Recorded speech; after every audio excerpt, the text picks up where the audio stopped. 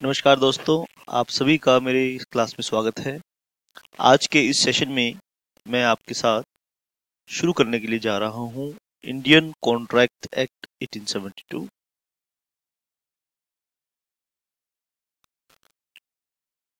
आप में से जो भी student industrial laws labour laws economic laws corporate laws drafting की एक्सपर्ट बनना चाहते हैं, अच्छे से सीखना चाहते हैं तो सबसे पहला काम क्या करना चाहिए? You must get expertise on this subject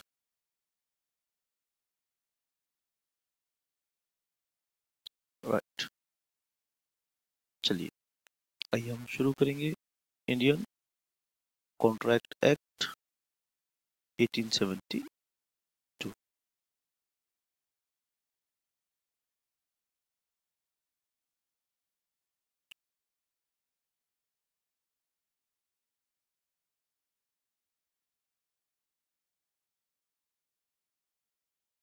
act की शुरुआत करने के लिए सबसे पहले हम इंटरप्रिटेशन क्लोज करेंगे डेफिनेशन को समझेंगे।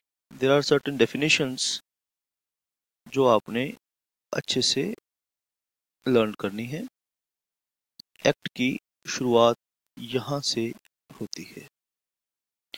There are certain definitions obviously application of the act and title preamble of the act I will discuss in the later class right in this class my objective is to introduce you what is Indian Contract Act? What is contract? There are certain definitions which you must get. Number first is number first is यहाँ पे जितने भी हम sections closes करेंगे वो है section two section two of Indian contract act section two clause A is definition of offer. Number second, section 2 clause B acceptance and promise तो यहाँ से इस एक्ट की हम शुरुआत कर रहे हैं एप्लीकेबिलिटी के बारे में मैं किसी और सेशन में आपके साथ डिस्कस करूँगा। To see the definition of promisor and promisee.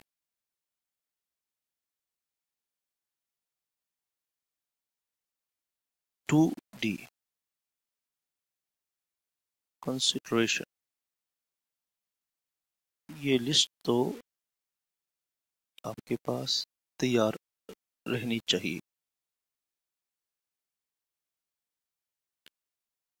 Number fifth is section two E agreement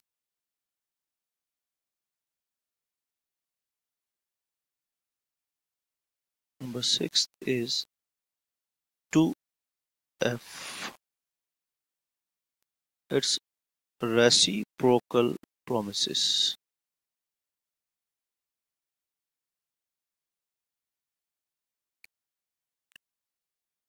Seventh, 2G, void,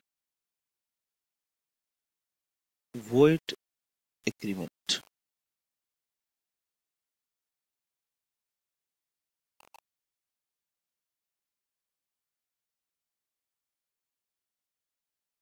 It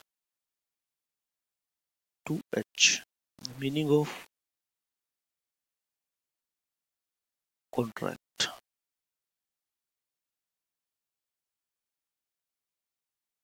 to i. Void able contract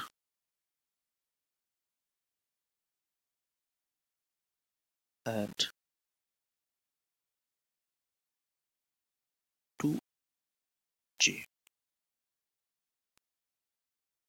Void contract.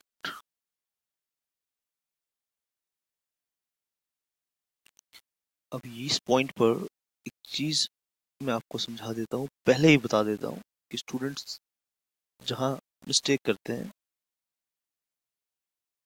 So students को चाहिए कि वो इन दो डेफिनेशंस में कंफ्यूज ना रहे students कई students तो two G versus two J G is for void agreement and J for void contract. Later on, you will realize what is the difference between these two terms, but students usually get confused between these two definitions. So, आपको ये बात ध्यान रखनी है। ये आप pose करके इसे नोट कर सकते हैं। शाबाश। आगे हम बढ़ेंगे।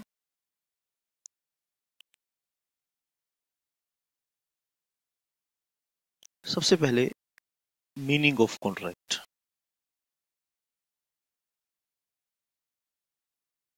meaning of contract सबसे पहले मीनिंग की बात करेंगे। Meaning of contract. और जब हम मीनिंग की बात करेंगे तो दो तरीके से इसका मतलब हम समझेंगे। इसका डिक्शनरी मीनिंग क्या है? लिटरल मीनिंग क्या है? और इसका लीगल मीनिंग क्या है?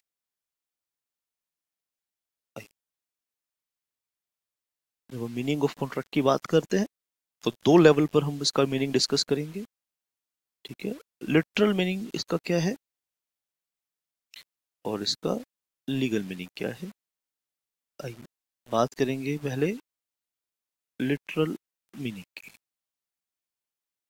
यानी इसकी हम डिक्शनरी मीनिंग की पहले हम बात कर लेंगे और फिर हम बात करेंगे इसकी Shabash.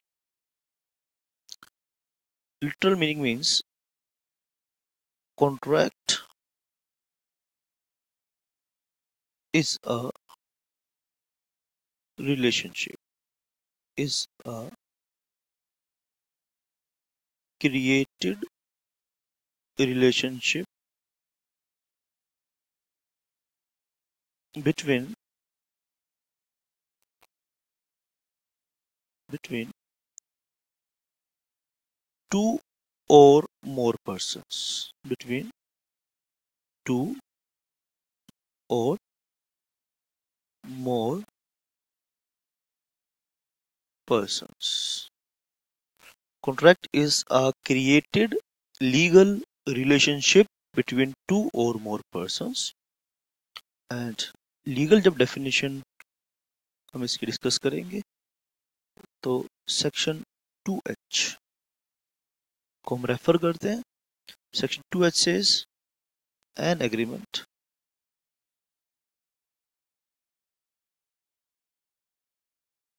which is an agreement which is enforceable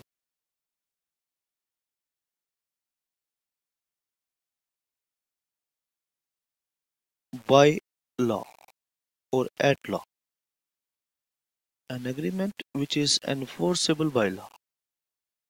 एक ऐसा एग्रीमेंट राइट एक ऐसा एग्रीमेंट जिसे हम ला में एनफोर्स कर सकते हैं राइट तो आगे बढ़ने से पहले दो टर्म्स जिसे हमें एनफोर्सिबिलिटी और एग्रीमेंट आप इस डेफिनेशन को इसके इंग्रेडिएंट्स को ध्यान से एनालिसिस करें। तो कॉन्ट्रैक्ट का मतलब क्या है? आप इस डेफिनेशन को ध्यान से एनालिसिस करेंगे। तो इसके अंदर दो इंग्रेडिएंट हैं। पहला there must be an agreement and दूसरा एग्रीमेंट की एनफोर्सिबिलिटी भी होनी चाहिए। दो चीज़ें हैं। एग्रीमेंट की एनफोर्सिबिलिटी होनी चाहिए। तो आप इसकी लीगल डेफिनेशन को देखेंगे, ध्यान से ऑब्ज़र्व करेंगे। तो agreement agreement plus enforceability there are two ingredients of the concept of contract ठीक है? एग्रीमेंट और एनफोर्सिबिलिटी को समझाना चाहता हूँ। ठीक है? एक गाना सुनाता हूँ, मेरी आवाज़ ज़्यादा अच्छी तो नहीं है लेकिन फिर भी एक गाना सुनाता हूँ। हम्म, सुनाता नहीं मतलब एक रेफर करता हूँ। आप इसे इंटरनेट से डाउनलोड करना और सुनना। This is my favourite song बहुत मेलोडियस सॉन्ग है।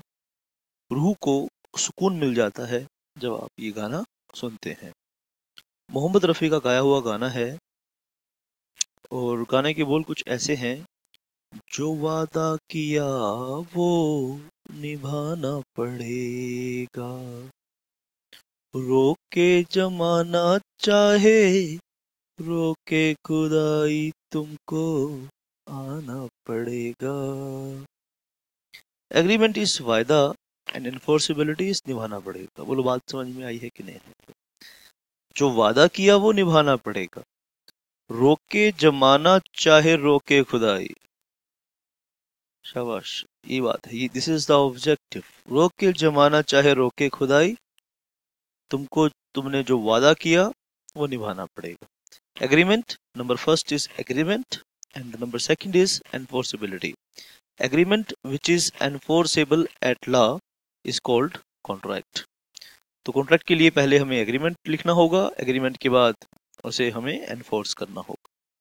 एग्रीमेंट इज डिफाइंड अब यहाँ पे contract is defined in section two H agreement is defined in section two E and enforceability is defined under section 10 29 and 56 so you can make equation in mathematics terms that is section 2h is equal to section 2e plus section 10 29 and 56 basically अगर आप एक contract बनना चाहते हैं according to Indian contract act 1872 then you need to first make a uh, agreement and such agreement must be enforceable at law. आइए हम further analysis करेंगे बेटा। फर्दर एनालिसिस करेंगे। अब यहाँ पे रिलेशनशिप लिटरल मीनिंग को थोड़ा सा एनालिसिस करते हैं। लिटरल मीनिंग का थोड़ा सा एनालिसिस करते हैं। राइट बेटा लिटरली क्या है? Contract is a created contract is a created relationship right between two और मोर पर्सन आप ध्यान देंगे बात को। As such you need to understand the concept of relationship आपने ध्यान देना है। You need to understand the concept of relationship मेरे अकॉर्डिंग मैं अगर इस कंसेप्ट को देखता हूँ तो रिलेशनशिप दो तरह के होते हैं। जब मैं इस कंसेप्ट को देखता हूँ तो मैं क्या एनालिसिस करता हूँ? रिलेशनशिप दो तरह के होते हैं number first and number second एक वो रिलेशनशिप होते हैं, जो हमें गॉड गिफ्टेड होते हैं। आपको जो माता पिता मिले हैं भाई बहन मिले हैं, वो गॉड गिफ्टेड है है ना? आपने कोई एग्रीमेंट नहीं किया था। पापा I am coming in this world and I will do I will become जज so arrange for my studies ऐसा एग्रीमेंट करके नहीं आए थे। गॉड ने जहाँ भेजा, जैसे भी घर में तुम्हें भेजा तो उसमें तुम्हारा कोई रोल नहीं है। God gifted number second created created तुम्हारे कुछ दोस्त हैं, तुम्हारे कुछ टीचर्स हैं, तुम्हारे कुछ तुम तुम्हारे हो सकते हैं कुछ वाइफ हो हस्बैंड हो तो ये सब क्या है? क्रिएटेड रिलेशनशिप तो क्रिएटेड रिलेशनशिप हमें इन्हें नहीं पढ़ना यहाँ पर। आप ये बात नोट कर लीजिए, इन रिलेशनशिप्स को हमें यहाँ नहीं पढ़ना। हमें किन्हें पढ़ना है? आप ध्यान से मेरी बात को सुनेंगे। अब आगे हमें क्रिएटेड रिलेशनशिप भी क्रिएटेड यानी जो हम खुद क्रिएट करते हैं। इसमें गोल्ड का रोल नहीं है। हम अब गॉड ने हमें दिमाग दिया और किन लोगों के साथ रिलेशनशिप क्रिएट करने हैं, वो हमें सोचना है। तो God us discretion. God gifted us discretion, mind, विवेक शक्ति और उस विवेक शक्ति पर हम अपने रिलेशंस हम अपने लाइफ को मैनेज करने के लिए हम अपने रिलेशनशिप क्रिएट करते हैं। अब जो रिलेशनशिप हम क्रिएट करते हैं उन्हें भी मैं दो पार्ट पर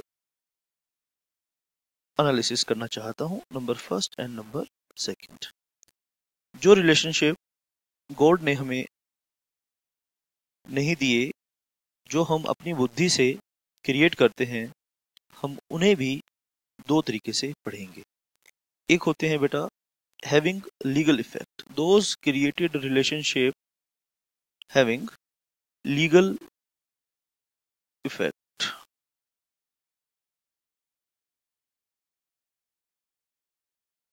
having legal effect and those created relationships not having legal effect not having legal effect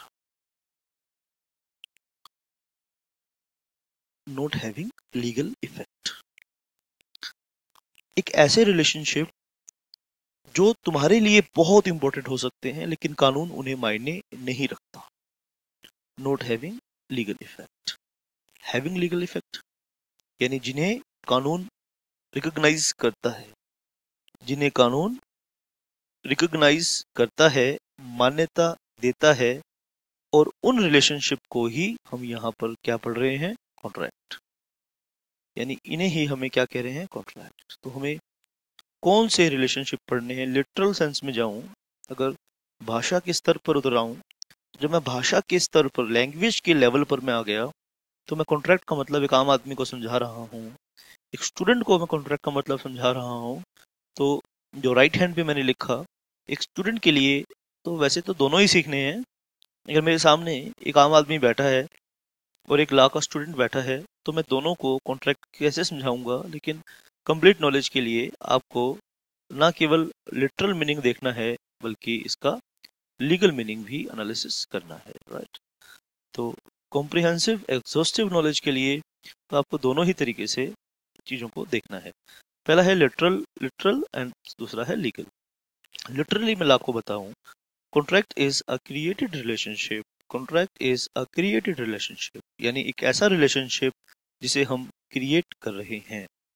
between two और मोर पर्सन दो या दो से ज़्यादा लोगों के बीच में हो minimum two there must be minimum two parties I can not make a contract with my self at spiritual level I can do so but at अगर हम बाहरी दुनिया की बात करें, ठीक है सोसाइटी समाज, इन सब बातों की बात करें हाँ स्पिरिचुअल लेवल पर मैं बोलूँ कि मैं एक अच्छा इंसान बनूँगा I promise to my self I'll devote my time in God realization. I will help others. That is different concept. You agree, you can agree with yourself spiritually, but legally you cannot agree with yourself. You need to have one other person to make a contract. Contract is a created relationship between two or more persons.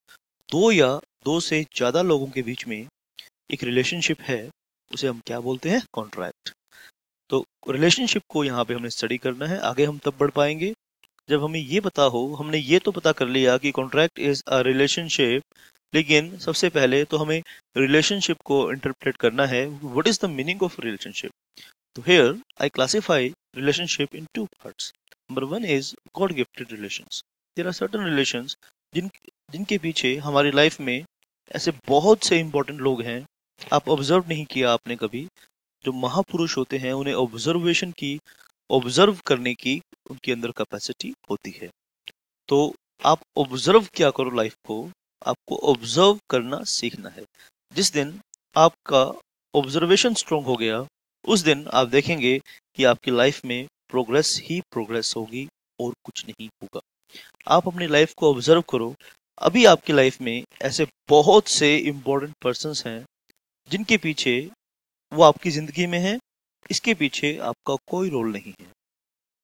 ठीक है? आपकी कोई समझ नहीं है, आपकी कोई सूझबूझ भी नहीं है। वो रिलेशन हो सकते हैं गॉड वो रिलेशन किसने दिए हैं? गॉड ने दिए हैं। उसमें नेचर ने दिए हैं, प्रकृति ने दिए हैं। ठीक है?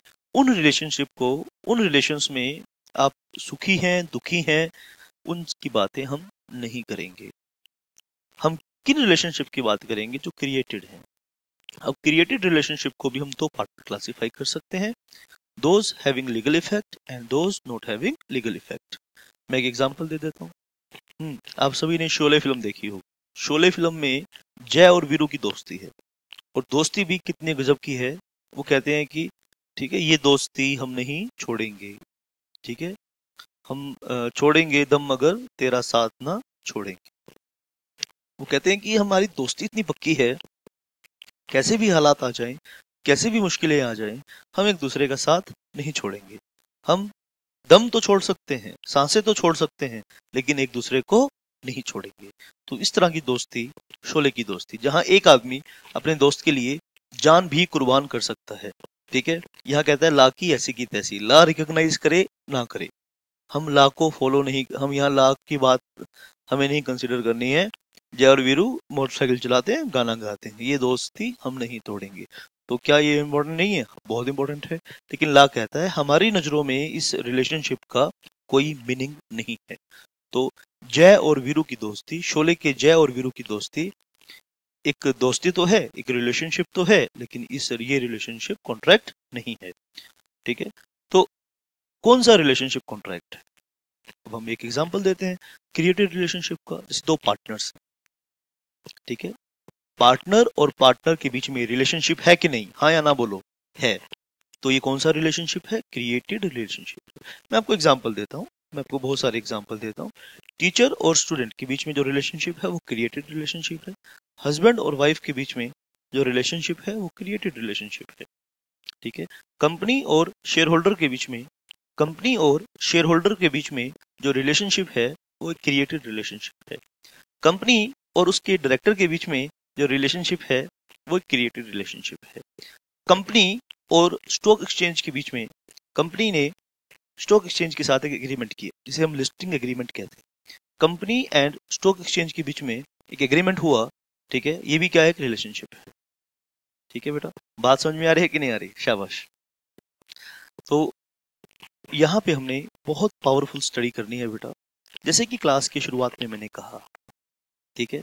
अगर आप economic laws industrial laws labour laws corporate laws में एक्सपर्ट बनना चाहते हैं, बहुत ऊपर लेवल तक पहुँचना चाहते हैं तो देखो, एक बात देखो बेटा, आम हम ज़िंदगी में ऑब्ज़र्व करें अब देखना बेटा, एक होमवर्क दे रहा हूँ आपको काम करने के लिए, आपने करना है प्लीज़ ये काम आपने मेरे लिए ज़रूर करना है, मेरे लिए क्या आपने लिए करना है, ठीक है? शाबाश बेटा, ये होमवर्क है आपके लिए जहाँ भी आप जा रहे होंगे, आपने कुछ करना नहीं है। आपने सिर्फ़ ऑब्ज़र्व करना है। अब देखना कि जहाँ आप, कहीं भी आप स्कूटर अपने स्कूटी से स्कूटर से बाइक से कार से आप जहाँ जा रहे हैं, अगर आपको कोई बिल्डिंग जो अभी बननी शुरू हुई है, ठीक है? बिल्डिंग आदि बन चुकी है, उसकी बात नहीं कर रहा। जहाँ पे बिल्डिंग बननी शुरू हुई है, आप वहाँ पर बाइक रोकना। ठीक है?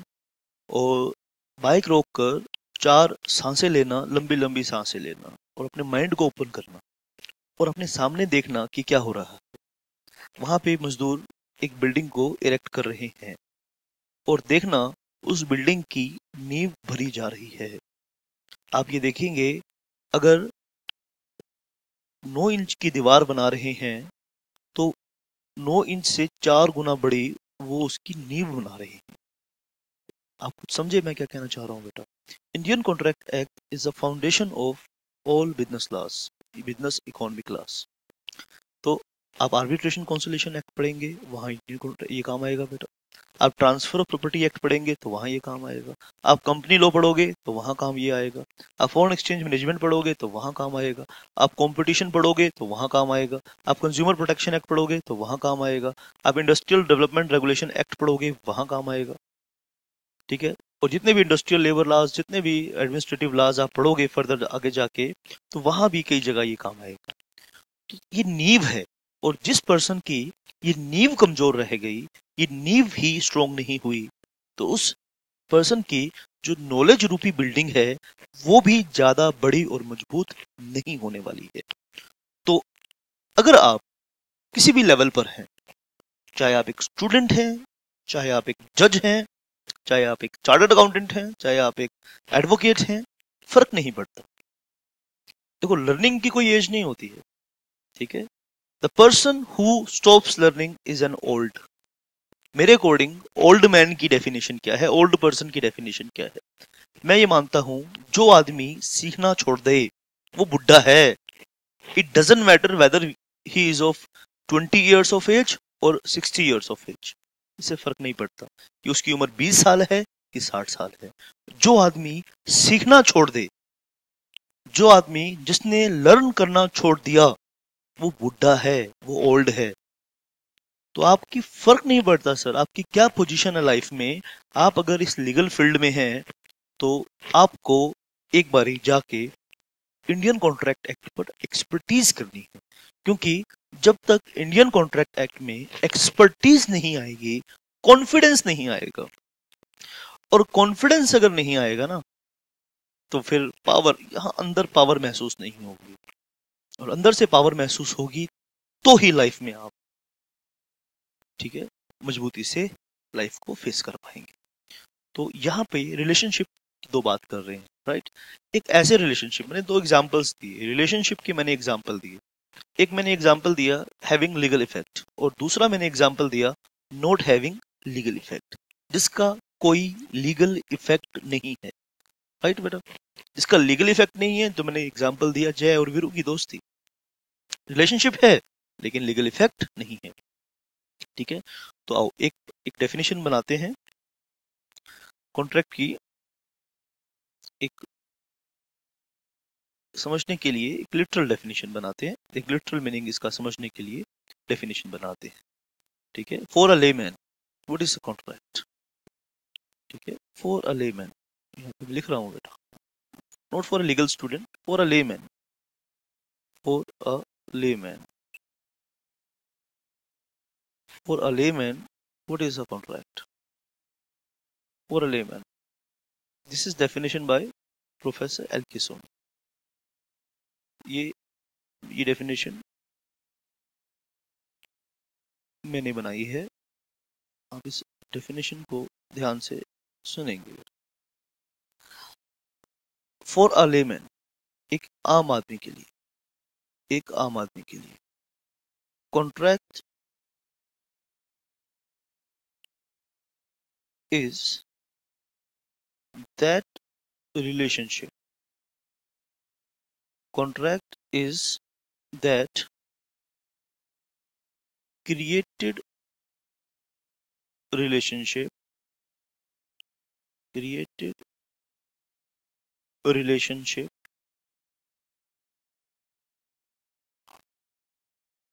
which has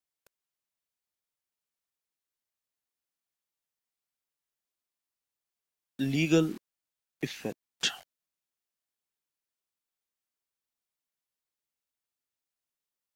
which has legal effect contract is that created relationship which has legal effect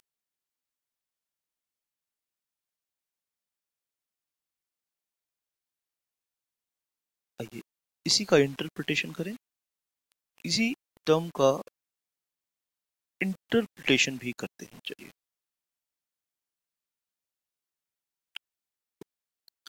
आइए फर्दर हम इसी रिलेशनशिप का एक, इसी बात का एक फर्दर एनालिसिस भी हम करते हैं।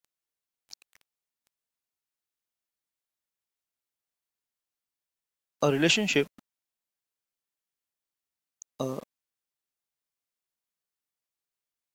created relationship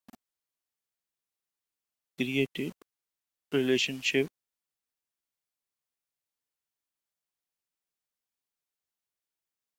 which has no legal effect which has no legal effect is not a contract ठीक है तो स्टूडेंट्स बेसिकली मेरी क्लासेस का ऑब्जेक्टिव आपको ला पढ़ना सिखाना है। आपने नोवेल की तरह ला नहीं पढ़ना। Law is not a theory paper Oxford University का रिसर्च है। There is no practical subject as comparison to law right law के कंपैरिजन में कोई सब्जेक्ट प्रैक्टिकल नहीं है। ये इतना इतना इतना गहरा और इतना बड़ा कंसेप्ट है। इसीलिए लॉ को जितने भी प्रोफेशन हैं लॉ को टॉप प्रोफेशन में रखा जाता है। तो दो बातें सीखनी है। यहाँ पे आप जब लॉ पढ़ने निकले हैं घर से तो दो बातें आपको पता होनी चाहिए। आप घर से लॉ पढ़ने सीख निकल चुके हैं कि नहीं जी, मैं तो लीगल एक्सपर्ट बनूँगा। तो देखो, आपके सामने ला रखा जाएगा और आपकी, आपको उसे, उसकी इंटरप्रिटेशन करनी है। हाँ आपके आपके सामने ला रखा जाएगा और आपको उसे, उसकी इंटरप्रिटेशन करनी है। ला क्या होगा? ला ये होगा ग्लास इज़ ला ये होगा, कानून में ये लिखा है, मान लीजिए, law is half empty sorry glass is half empty. Glass is half empty. और आपने क्या करना है? इंटरप्रिटेशन करनी है। इसे दूसरों को समझाना है। तो आप क्या कहेंगे? Glass is half full this is interpretation glass is half full तो this is I mean interpretation. So glass is half full. Glass is half full. तो आपको ला पढ़ के उसकी इंटरप्रिटेशन लोगों को समझानी है। तो यहाँ पे हमने देखा contract is the created relationship which has legal effect इसका इंटरप्रिटेशन क्या समझ में आया कि एक ऐसा रिलेशनशिप जो हम क्रिएट करते हैं और ला उसे पहचान नहीं देता तो उसे हम कॉन्ट्रैक्ट नहीं कहेंगे। हम उस रिलेशनशिप को कॉन्ट्रैक्ट कहेंगे जो जिसे हम क्रिएट करते हैं ला जिसे इफ़ेक्ट देता है। आगे बढ़ने से पहले दोस्तों, दो ऐसे टर्म हैं जिन्हें मैं आपके साथ डिस्कस करना चाहता हूँ और उनके बिना हमारा काम नहीं चलेगा। देखिए, दो ऐसे शब्द हैं जो हमें यहाँ पर समझ लेनी चाहिए। एक है वैलिड और दूसरा है वर्ड दोनों शब्दों को अच्छे से हमें सीख लेना है। वैलिड का क्या मतलब है और वर्ड का मतलब क्या है?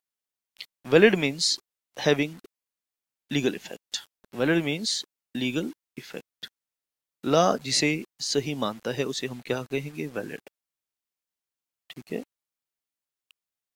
ला